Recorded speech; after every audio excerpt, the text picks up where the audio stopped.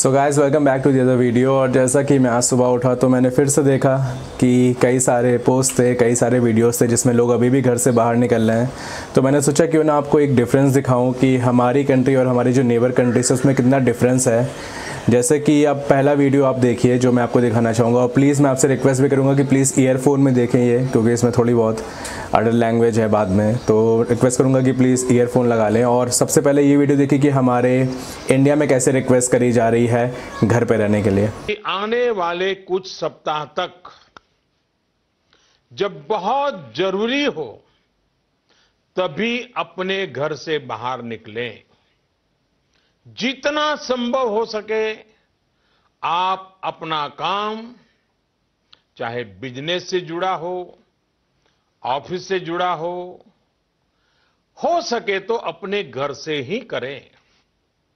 सो so गाय जैसा कि आपने देखा कि हमारे पीएम ने खुद टीवी पे आके रिक्वेस्ट करी, हाथ जोड़ के कि आप घर पे रहिए।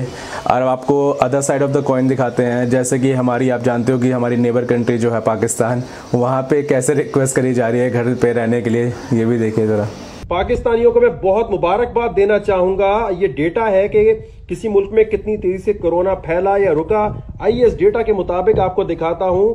ये देखिएगा, ये सारे मुल्कों का डेटा आ रहा है जी इटली का, बाकी का, पाकिस्तान का आप चेक कीजिए। ये पाक, ये चीज़ मेरे अज़ीज़, भाई कैसे हम पीछे रह सकते हैं बर्बाद होने में? हम तो हमेशा अपने आप को बर्बाद करते हैं, फिर हुकूमत को कोसते हैं। ये देख रहे हैं डेटा किस तरीके से ऊपर जा रहा है? इतनी तेज़ी से दुनिया में कहीं नहीं फैला, जितनी तेज़ी से यहाँ फैलने लग गया, क्योंकि शादी अटेंड करना ज़रूरी है।